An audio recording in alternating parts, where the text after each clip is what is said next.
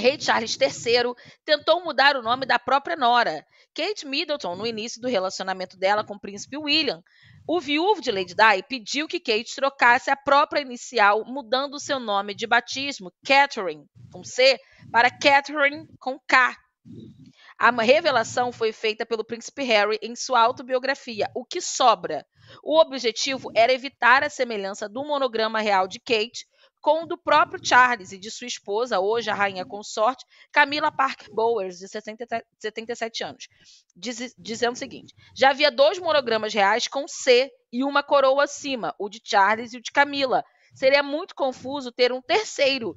E eles então sugeriram que ela, parasse, que ela passasse a chamar Catherine com K, trocasse o nome de batismo dela mesmo. O apelido é Kate, acabou sendo com K, mas enfim. O pedido teria sido feito durante diante de Harry e de William, que reagiram embasbacados. Eu virei para o Willie e o meu, meu olhar dizia: Você está ouvindo isso? A cara dele estava branca. Kate, no entanto, não aceitou a solicitação do sogro e conserva seu nome de batismo até hoje. Não tem mais o que inventar, Leão Lobo. A realidade é essa. Para mim, vocês vão me desculpar, mas existir monarquia em 2024 é o fim da picada, a abelha indo embora. E aí, como se não bastasse, Primeiro que o sogro já é difícil de lidar. O sogro que é rei ainda, minha filha, misericórdia. Ainda quer mudar o nome da. Olha, essa querida aí eu vou te contar, viu, Leão? Mas também, vamos falar a verdade, Kate, era o sonho dela casar com, né, com William.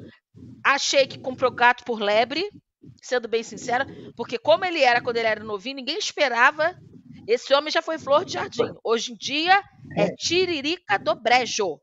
Mas diga aí, é Leão, tá completamente errado essa família. Não, eu, eu, tenho uma preguiça desse assunto, né? Porque eu acho tão ridículo, tão, tão demodé, tão, tão, qualquer coisa que você possa dizer de ruim, eu acho sobre isso, né? O país gastar o dinheiro que gasta para sustentar essa gente, que tem a menor importância do mundo, tá? até e que não faz nada de, importante, só fica aí discutindo C, pode ser, tiro C, Se fosse o outro C, aí era, era até mais importante, né? Porque esse eu uso para alguma coisa. Agora, esse C, o nome, né? Para botar a coroa em cima e tirar, ah, não dá. Realmente, eu, eu, eu acho engraçado ainda que alguém ainda se interesse por isso. Porque eu acho é, o ó do Borogodó, sabe assim?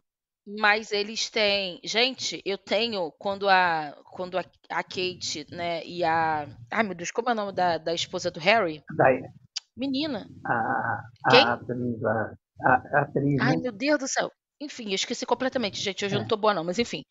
Quando tava naquela confusão de vai se separar, não vai se separar, eu vi, juro pra você, eu descobri. Meghan Marco, obrigada, Ana. Laura descobri que tinha uma produtora de conteúdo que ela só falava da família real britânica e ela estava assim: por que Kate deveria ser a rainha?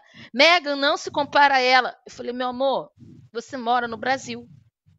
A pessoa morando, entendeu? É, é, no quilômetro 34, morando em Vila de Cava, Nova Iguaçu, está preocupada com, com Meghan Markle, Kate Middleton, entendeu? Com, com o rei Charles. Minha filha, que coisa mas nada a ver com nada. Gente, monarquia. Mas, Leão, eles são, assim, a coqueluche do momento. A confeitaria. Vou trazer uma informação aqui para vocês, tá? A confeitaria que faz o bolo dos casamentos e tudo mais, né, da família real britânica, vive de vender esses bolos específicos. Então sempre tem alguém que vai lá e compra. Tem gente que congela. Tem, inclusive, se eu não me engano, leiloaram um pedaço do bolo do casamento do Príncipe Charles com a Lady Di e uma pessoa comprou. Não, não tem mais com que gastar dinheiro. Não é, tem mais com que gastar é, dinheiro. Não é? É, é o fim do, do, da preocupação com, com o humano, né? Porque eu, Deus me não consigo entender, juro por Deus. Eu, eu tento entender, mas eu acho uma coisa tão absurda, tão ridícula. Pior que a nossa família real, tem gente que ainda usa da coisa, ah, usa, não sei o que, seus descendentes. Ah, pelo amor de Deus. Assim, eu sou o quinto no, no, na, como é que é? é. Na, na, linha de sucessão ao trono. Que trono?